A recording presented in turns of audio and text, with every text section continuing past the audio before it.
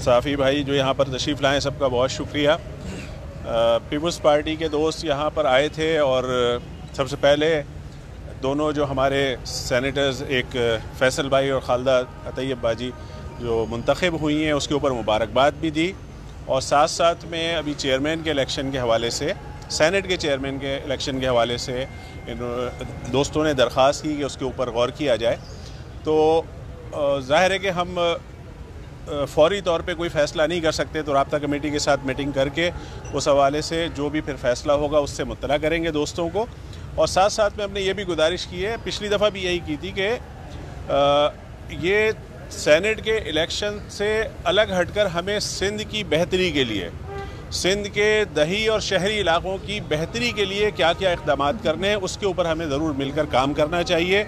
उस पर हमारे दोस्तों ने भी इतफ़ाक़ किया और इन ये इलेक्शन के बाद भी हमारी मुलाकातें जारी रहेंगी और सिंध के शहरी इलाकों में ख़ास तौर से चूँकि हम नुमाइंदगी करते हैं तो हमें यहाँ के लोगों की नौकरियों का मसला है, यहाँ के बल्दियात के मसाइल हैं, यहाँ पर पानी का मसला है सेवरेज का मसला है, इन सारी चीज़ों के ऊपर हम इनसे बातें करेंगे फ्यूचर में और उसके, उसका हल भी तलाश करेंगे। तो हम बहुत शुक्रगुजार हैं कि ये दोस्त हमारे तशरीफ़ लाए और हम इनको इन जल्द मुतला करेंगे। रबता कमेटी की मीटिंग के बाद कि हम क्या करने करने जा रहे हैं।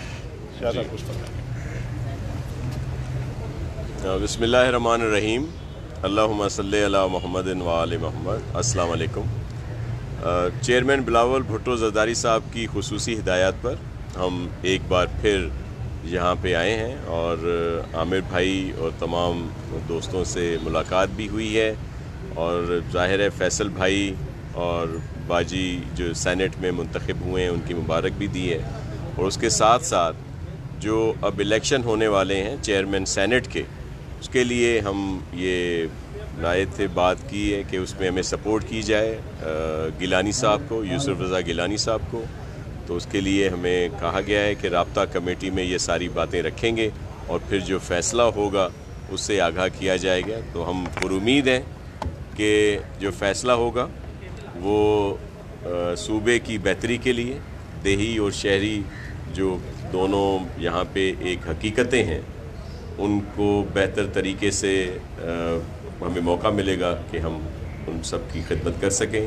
तो हमारी तो यही रिक्वेस्ट थी कि ये फ़ैसला उसमें कहें और हमारी तरफ़ से एक मज़बूत केस जो है, वो रबता कमेटी में रखा जाए, जिसके लिए आमिर भाई और सबने कहा है कि हम उनके साथ ये सारी बातें शेयर करेंगे। शाह साहब ये बताएँ कि आपने भी ऑफ़र की है सपोर्ट के लिए? जी देखें वो ज़ाहिर है जब एक चीज़ की तरफ़ जाएँगे जब मुस्बत चीज़ें होंगी तो ज़ाहिर बहुत सारी चीज़ें हैं जिन पर बात हुई है और ख़ास तौर पर जो शहरी इलाके हैं जिनकी नुमाइंदगी एम क्यू एम पाकिस्तान के पास है वहाँ के लिए जो भी बेहतरी वैसे भी हम चेयरमैन बिलावल भुट्टो जरदारी साहब का विज़न तरक्की का विज़न है और उन्होंने हर जगह पे बग़ैर किसी तफरीक के डेवलपमेंट के लिए अहकाम दिए हुए हैं चीफ मिनिस्टर साहब को और उनकी पूरी जो टीम है। और आपने देखा होगा कि बहुत सारे काम हुए लेकिन कुछ इश्यूज़ हैं जो हल तलब हैं और इन उन पर अच्छी पेशरफ होगी और मुस्बत तरीके से मिलकर काम किया जाए इससे पहले भी जी। नहीं किया में। अब क्या आपको उम्मीद है कि अब जो जवाब मिलेगा, वो पॉजिटिव मिलेगा एमक्यूएम की तरफ़? देखें पॉलिटिकली तौर पर दरवाजे खुले होते हैं टेबल टॉक्स होती हैं जमहूरीत का यही हुसन है। तो जिस तरह आप बिल्कुल सही कह रही हैं कि उसमें हमें गिलानी साहब को सपोर्ट नहीं किया एम क्यू एम ने, लेकिन क्योंकि यहाँ सैनट के इंतबात में जो मुख्तलिफ़ उम्मीदवार थे उन्हें। लेकिन अब जब सैनट चेयरमैन के इंतबात होने को जा रहे हैं तो हम ज़ाहिर है इनके पास हाजिर हुए हैं। इस उम्मीद के साथ कि चलें पहले न सही लेकिन अब वो हमें सपोर्ट करेंगे और इसी रिक्वेस्ट के साथ हम यहाँ पे आए तो खान साहब ये बता दीजिएगा कि पीटीआई के साथ आपका इतिहाद है कितना मुतमिन है पीटीआई के इतिहाद के साथ? क्या पीपल्स पार्टी के साथ भी कोई इतिहाद बनाया जा सकता है या नहीं बनाया जा सकता?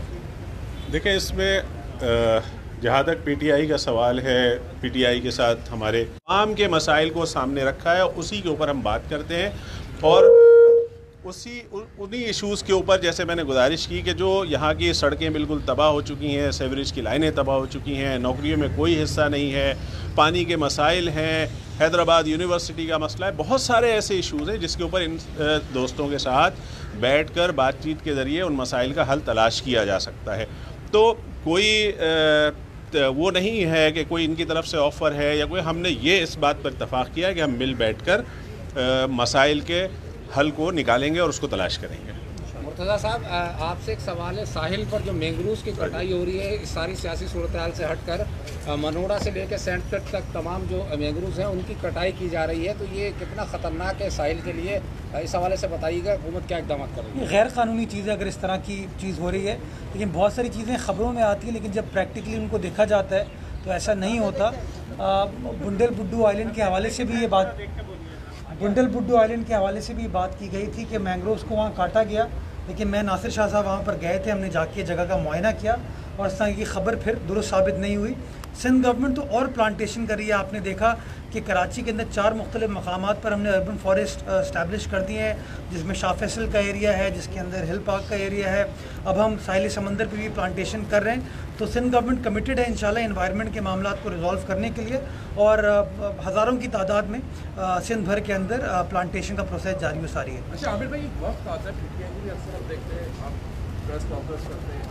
आपको लघु लहजा नज़र आता है। पीपल्स पार्टी वाले भी आते हैं, आपका लघु लहजा नज़र आता है, बेहतर नज़र आता है। लगता है ये कि आप वफाक से ज़्यादा जो हुकूमत में जाना चाहते हैं, लोगों के मसाइल हल करना चाहते हैं, वो ऐसी ताकत तो नहीं है जो आपको रोकती हो उस इसमें मतलब इतिहाद के हवाले से या हुकूमत में जाने के हवाले से? देखें हम एक जमहूरी पार्टी हैं और हमारा अपना एक मकसद है, मंशूर है, हमारा एक नज़रिया है। और ये जहाँ तक आपने दबाव की बात की है, दबाव एम ने कभी भी बर्दाश्त नहीं किया, ना कबूल किया इस किसी भी किस्म का कोई दबाव एम के ऊपर आपने देखा था कि पिछले सेनेट के चेयरमैन के इलेक्शन के अंदर जब दोस्तों ने हमसे दरख्वास्त की कि हम सलीम मांडवी वाला साहब को वोट दें, हमने मना कर दिया। हमारे ऊपर क्या आप समझते हैं? दबाव नहीं आया। आया होगा, लेकिन दबाव एम लेती नहीं है। हमने चेयरमैन सेनेट के ऊपर इलेक्शन में हमने हिस्सा लिया था और वहाँ वोट भी दिए थे। अपने वाइस चेयरमैन पे मना कर दिया था। तो दबाव वबाव किसी किस्म का ना एम क्यू एम ने पहले लिया है ना आप लेगी। हाँ मसाइल के हल के लिए आपने जैसे कहा वजारतों वजारतों में कतन जाने का कोई इरादा नहीं है ना हम हम इस मौजू के ऊपर कोई बात करते हैं। हम आवाम के मसाइल के हल के लिए बात करते हैं जिस पर इन दोस्तों ने भी इतफ़ाक़ किया इन उन मसाइल के हल के लिए कोई ना कोई रास्ता निकालेंगे। बहुत शुक्रिया वफाक में आप क्या ऐसा मुमकिन हो सकता है कि वफाक में पीटीआई से ताज हो सूर्य पीपल्स पार्टी से? देखिए तो ये ये- ये भी एक जमहूरी अमल है। अगर कभी ऐसी कोई नौबत आई तो वो भी रबता कमेटी बैठकर फैसला करेगी कि आया ये हमें अमल करना चाहिए या नहीं करना चाहिए। कोई बात सियासत के अंदर हतमी नहीं होती है। थैंक यू थैंक यू बहुत शुक्रिया जी।